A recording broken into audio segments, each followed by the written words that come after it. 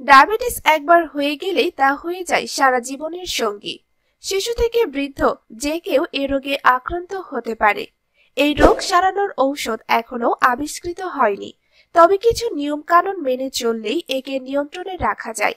এজন্য খাবার দাবারে টানা অন্যতম উপায়। ব্রিটিশ সংবাদ মাধ্যম ডেইলি স্টার জানিয়েছে, বিশ্বজুড়ে টাইপ টু ডায়াবেটিসে ভোগা রোগীর সংখ্যা সবচেয়ে বেশি। আর ডায়াবেটিসে ভোগার কারণে হতে পারে হৃদরোগ ও স্ট্রোকের মতো গুরুতর রোগ। আমেরিকান ডায়াবেটিস অ্যাসোসিয়েশন বলছে, শতকরা ষাট ভাগ ক্ষেত্রে জীবনাচরণের পরিবর্তন এনেই ডায়াবেটিস প্রতিরোধ বা বিলম্বিত করা যায়। যুক্তরাজ্যের ন্যাশনাল হেলথ সার্ভিস খাবারের বিষয়ে বেশ কিছু নির্দেশনা দিয়েছে। সংস্থাটি বলছে, ডায়াবেটিসের ঝুঁকি কমাতে মিষ্টি, লবণ ও চর্বি জাতীয় খাবার কম করে খাওয়ার অভ্যাস করতে হবে। বেছে নিতে হবে চিনিমুক্ত খাবার। এনএইচএস এর পরামর্শগুলো হলো, এক, খেতে হবে তাজা সবজি ও ফল।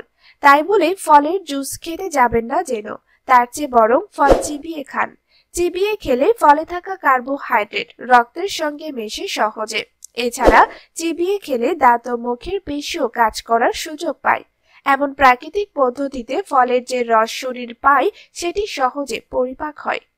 দুই কম চর্বিযুক্ত দই খাওয়া যেতে পারে, বিশেষ করে টক দই। শিশুদের জন্য দই খুবই উপকারী। এই দুগ্ধজাত বস্তুতে প্রচুর পরিমাণে ক্যালসিয়াম থাকে। হাড় ও দাঁতের জন্য ক্যালসিয়াম খুবই উপকারী।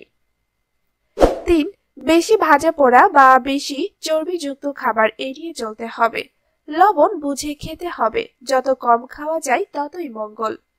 চার, চিনিযুক্ত পানীয় থেকে দূরে থাকতে হবে। জুস ও স্মুদিতে প্রচুর চিনি ও ক্যালোরি থাকে, তাই কতটুকু খাচ্ছেন তার হিসাব রাখতে হবে। মাত্রাতিরিক্ত হলেই বিপদ।